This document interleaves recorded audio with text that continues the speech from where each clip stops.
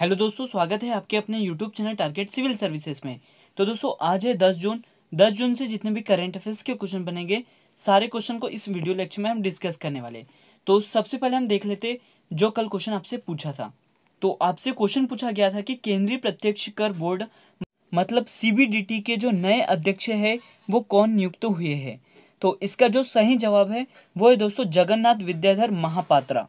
यहाँ पे correct answer क्या हो जाएगा? Option third. और आप देख सकते हो दोस्तों, ये है जगन्नाथ विद्याधर महापात्रा, जिन्हें केंद्रीय प्रत्यक्ष कर बोर्ड मतलब सीबीडीटी के नए अध्यक्ष के रूप में नियुक्त किया गया है। और यहाँ पर दोस्तों हम बात कर लेते हैं केंद्रीय प्रत्यक्ष कर बोर्ड मतलब सीबीडीटी की। तो सीबीडीटी है, इसका मतलब है central board of direct taxes जिसकी स्थापना 1924 को की गई थी और मुख्यालय नई दिल्ली में स्थित है। अब दोस्तों हम स्टार्ट करते हैं कल के क्वेश्चन का रिवीजन तो पहला क्वेश्चन है कि हाल ही में किस संगठन द्वारा आई फैमिलिया नाम का डेटाबेस लॉन्च किया गया है? तो ये किसके द्वारा लॉन्च किया दोस्तों? ये लॉन्च किया है इंटरपोल के द्वारा। तो यहाँ पे करेक्ट आंसर हो जाएगा ऑप्शन टू नेक्स्ट क्वेश्चन है कि हाल ही में किसने सुरक्षित हम, सुरक्षित तुम अभियान को लॉन्च किया है? तो इस अभियान को लॉन्च किया है नीति आयोग और पीरामल फाउंडेशन ने। तो यहाँ पे करेक्ट आंसर हो जाएगा ऑप्शन फोर उपयुक्त तो एक और दो, दोनों. तो चलते हैं दोस्तों नेक्स्ट क्वेश्चन की ओर। नेक्स्ट क्वेश्चन है कि सड़सठवें राष्ट्रीय फ़िल्म पुरस्कार 2021 में सर्वश्रेष्ठ फ़िल्म राष्ट्रीय पुरस्कार किस फ़िल्म को दिया गया है? तो ये दिया गया है दोस्तों वाटर ब्यूरियल को। यहाँ पे करेक्ट आंसर हो जाएगा ऑप्शन वन। और दोस्तों अभी तक आपने हमारे वीडियो लेक्चर को लाइक नहीं किया तो लाइक कर दे, शेयर कर दे। अगर आप इस चैनल पर नए हो तो इसे सब्सक्राइब भी ज़रूर करें। अगला क्वेश्चन है कि किस राज्य की सरकार ने प्राण वायु देवता पेंशन योजना को शुरू किया है? तो ये शुरू किया है दोस्तों हरियाणा राज्य की सरकार ने। यहाँ पे करेक्ट आंसर क्या हो जाएगा? ऑप्शन थर्ड अगले क्वेश्चन की ओर चलते हैं। तो क्वेश्चन है कि देश की पहली इलेक्ट्रिक व्हीकल सिटी कौन सी बन गई है? तो ये बन गई है दोस्तों केवड़िया। यहाँ पे करेक्ट आंसर क्या हो जाएगा? ऑप्शन फोर अगला क्वेश्चन है कि विश्व सागर दिवस कब मनाया गया है? तो ये मनाया गया है आठ जून को। तो यहाँ पे राइट आंसर हो जाएगा ऑप्शन टू अगले क्वेश्चन की ओर चलते हैं। तो क्वेश्चन है दोस्तों कि विश्व रोज़गार और सामाजिक आउटलुक 2021 रिपोर्ट को किसने जारी किया है? तो इस रिपोर्ट को जारी किया है अंतर्राष्ट्रीय श्रम संगठन ने। तो यहाँ पे करेक्ट आंसर हो जाएगा ऑप्शन वन नेक्स्ट क्वेश्चन है कि संयुक्त राष्ट्र महासभा के नए अध्यक्ष कौन बने हैं? तो ये बन गए दोस्तों अब्दुल्ला शाहिद यहाँ पे राइट आंसर हो जाएगा ऑप्शन टू चलते हैं नेक्स्ट क्वेश्चन की ओर। तो क्वेश्चन है कि हाल ही में चर्चा में रहा आतंकवाद संगठन बोको हराम किस देश से संबंधित है? तो इसका जो संबंध है, वो है दोस्तों नाइजीरिया से। तो यहाँ पे राइट आंसर हो जाएगा ऑप्शन फोर और रिवीजन का लास्ट क्वेश्चन है कि सात जून 2021 को किस फुटबॉल खिलाड़ी ने गोल करने में लियोनल मेसी का रिकॉर्ड तोड़ दिया है? तो ये तोड़ दिया दोस्तों सुनील छेत्री ने। यहाँ पे राइट आंसर हो जाएगा ऑप्शन वन अब स्टार्ट करते हैं दोस्तों आज के करंट अफेयर्स तो पहला क्वेश्चन है कि हाल ही में किसने महिला की दस हज़ार मीटर मतलब दस किलोमीटर दौड़ का नया वर्ल्ड रिकॉर्ड बनाया है। तो ये बनाया दोस्तों सिफान हसन ने। यहाँ पे करेक्ट आंसर हो जाएगा ऑप्शन टू और आप देख सकते हो दोस्तों, ये है सिफान हसन, जिन्होंने हाल ही में दस हज़ार मीटर मतलब दस किलोमीटर दौड़ का जो नया वर्ल्ड रिकॉर्ड बनाया है। तो दोस्तों, ये जो सिफान हसन है, यह नीदरलैंड की रहने वाली है। और इनका जो रिकॉर्ड है मतलब इन्होंने कितने समय में दस किलोमीटर को तय किया है? तो इन्होंने दोस्तों उनतीस मिनट छः सेकेंड में यह रिकॉर्ड अपने नाम किया है। और यहाँ पर बात करें हम दोस्तों कि इन्होंने किसका रिकॉर्ड तोड़ा है? तो इन्होंने तोड़ा है दोस्तों अलमाज आयना का।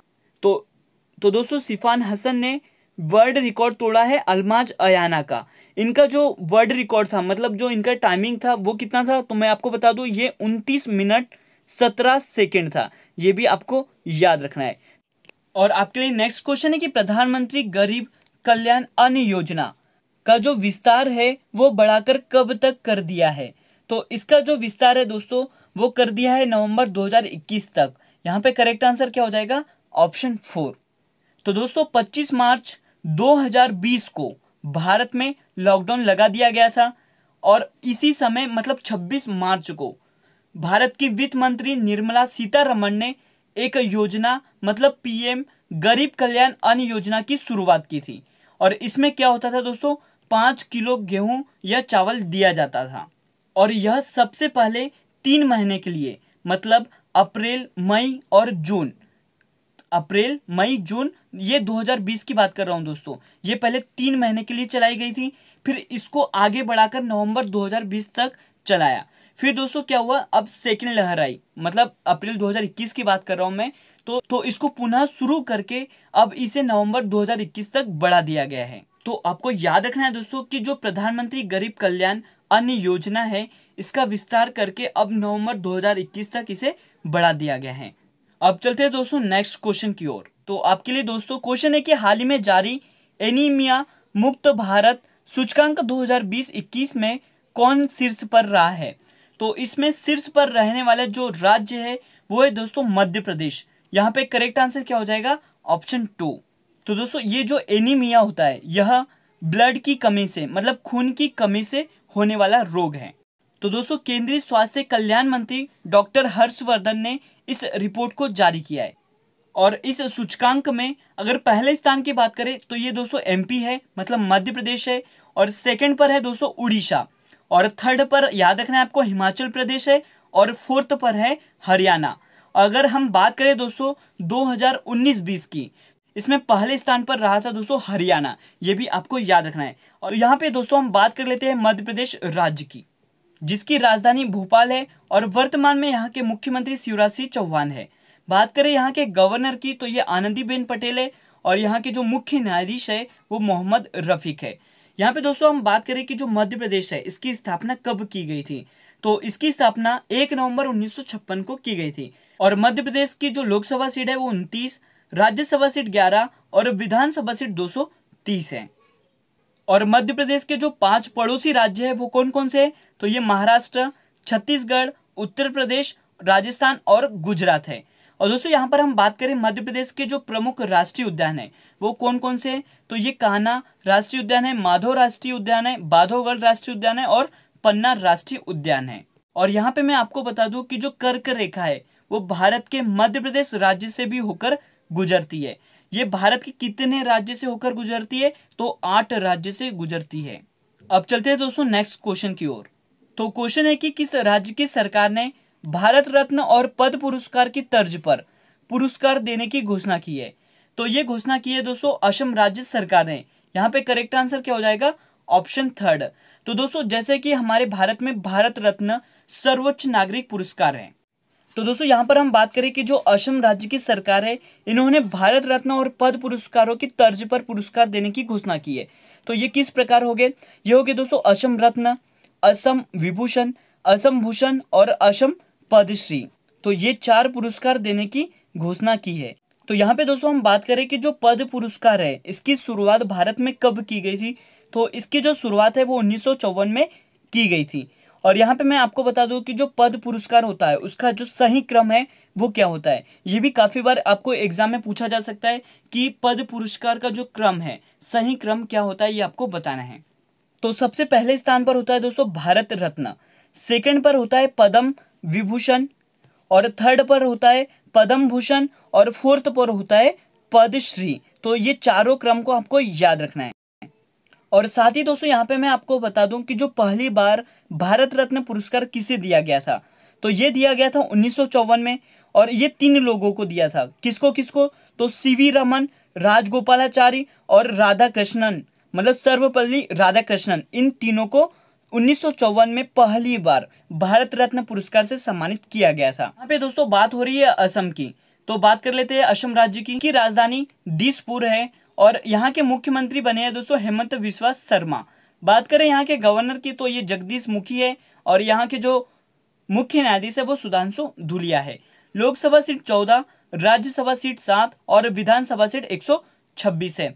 और बिहू जो होता है वो असम राज्य का प्रसिद्ध त्योहार में से एक है, ये भी आपको याद रखना है। अब चलते हैं दोस्तों नेक्स्ट क्वेश्चन की ओर।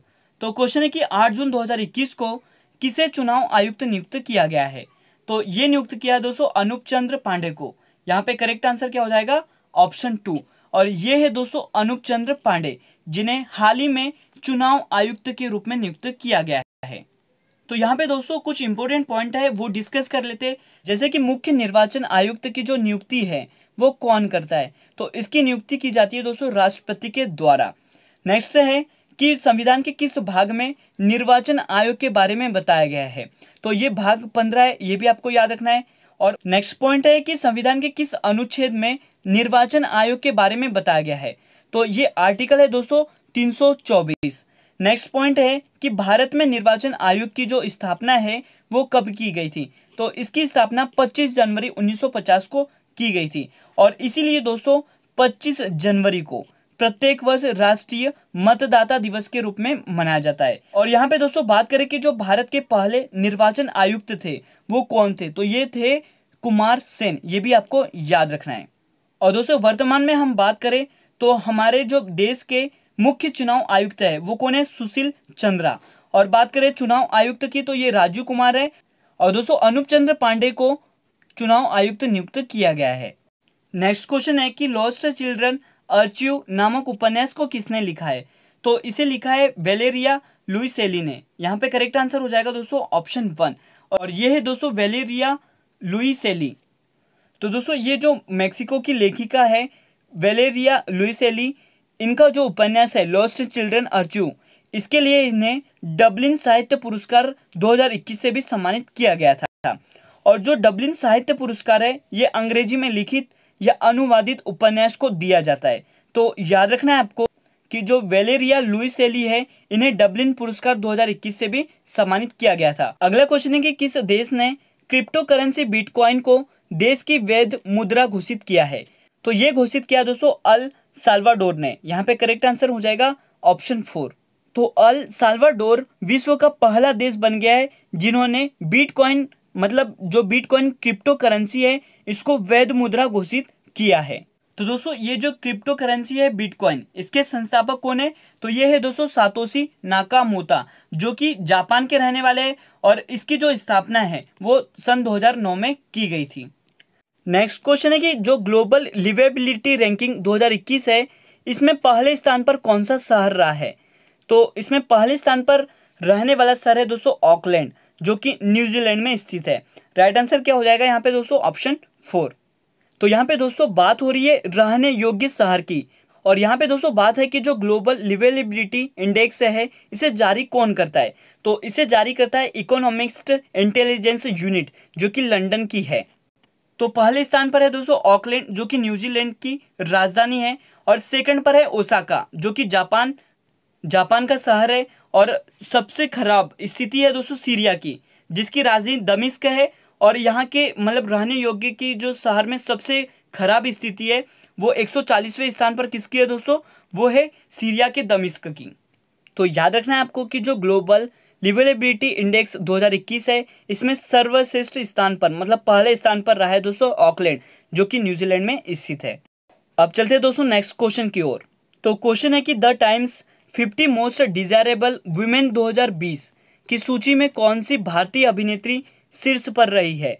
तो इसमें रही है दोस्तों रिया चक्रवर्ती। यहाँ पे करेक्ट आंसर हो जाएगा ऑप्शन फोर और ये है दोस्तों रिया चक्रवर्ती तो the Times 50 most desirable women 2020 की जो सूची है, इसको जारी कर दिया गया है। और इसमें विभिन्न क्षेत्रों में जो 40 से कम उम्र की महिलाएँ, उनको शामिल किया गया है। तो टाइम्स मोस्ट डिजायरेबल वुमेन 2020 की सूची में रिया चक्रवर्ती ने पहला स्थान प्राप्त किया है। क्योंकि दोस्तों, ये चर्चा में इसलिए रही थी क्योंकि सुशांत सिंह राजपूत की आकस्मिक निधन हो गया था और उनकी मृत्यु के बाद ही ये चर्चा में आई थी। अगर यहाँ पे हम दोस्तों बात करें, the Times fifty most desirable mens 2020 की। तो ये है दोस्तों सुशांत सिंह राजपूत। तो दोनों पॉइंट आपको याद रखने हैं। और आज का जो लास्ट क्वेश्चन है कि आरबीएल बैंक के फिर से एमडी और सीईओ कौन बने हैं? तो ये बन गए हैं दोस्तों विश्ववीर आहूजा। यहाँ पे करेक्ट आंसर हो जाएगा ऑप्शन वन और ये है दोस्तों विश्ववीर आहूजा, जिन्हें हाल ही में आरबीएल बैंक के फिर से एमडी और सीईओ नियुक्त किया गया है। तो दोस्तों, ये जो आरबीएल बैंक है, इसकी स्थापना 1943 को की गई थी, जिसका मुख्यालय मुंबई, महाराष्ट्र में स्थित है और एमडी और सीईओ बन गए हैं विश्ववीर आहूजा। टैगलाइन की बात करें इसकी तो ये अपनों का बैंक, ये भी आपको याद रखना है। और आज का जो क्वेश्चन ऑफ़ द डे है आपके लिए दोस्तों, कि हाल ही में असम राइफल्स के महानिदेशक का जो पदभार है, वो किसने संभाला है? इसका सही जवाब आपको कमेंट सेक्शन में देना है। तो आज का वीडियो लेक्चर यहीं पर एंड होता है। अगर ये वीडियो लेक्चर आपको अच्छा लगा हो तो इसे लाइक करें शेयर करें। अगर आप इस चैनल पर नए हो तो इसे सब्सक्राइब भी ज़रूर करें। Thank you so much guys for watching this video